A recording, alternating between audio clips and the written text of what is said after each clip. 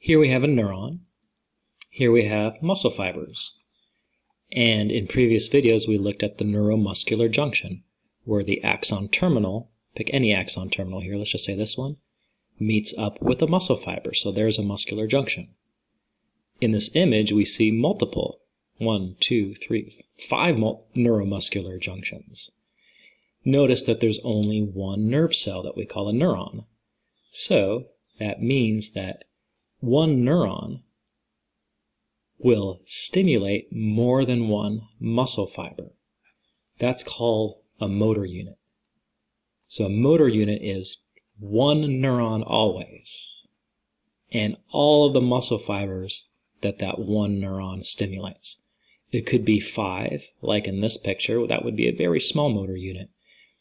Like when we need precision, let's say in your eye muscles, but we have very large motor units, meaning one neuron that stimulates hundreds or even thousands of muscle fibers, like our leg muscles, muscles of our back, for example. We don't need precision, we just need to hold ourselves upright, maintain posture. So, regardless, we have small motor units or large motor units. The common thing of a motor unit is just one neuron is being used. The difference in motor units is the number of muscle fibers that that one neuron stimulates. So, this motor unit cannot be stronger or weaker. You can't get a stronger contraction or a weaker contraction. It either happens or it doesn't. So how do we account for a stronger contraction if we need to, let's say, lift something heavier versus something lighter? We can't say, well, motor unit use more strength. Well, that doesn't happen that way because it either happens or it doesn't. So we use a process called recruitment.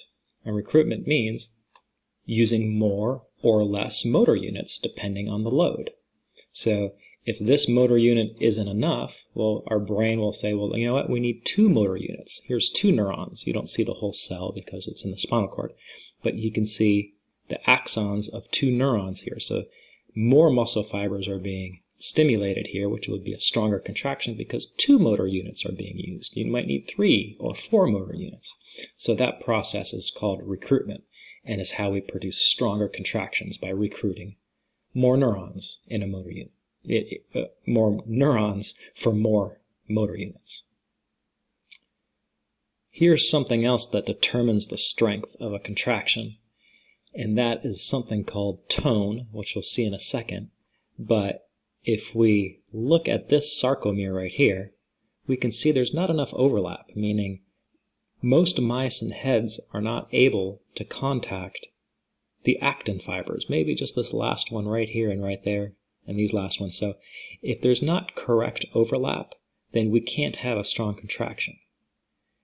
At the other extreme, if there's too much overlap, well, there's no, there's no more to contract here we have as much sliding as we can possibly have, so no more contraction is possible. So we want the right amount of overlap where most of the myosin heads, in this case all of them, are in contact with, with actin, and that would produce the optimum uh, strength of a contraction.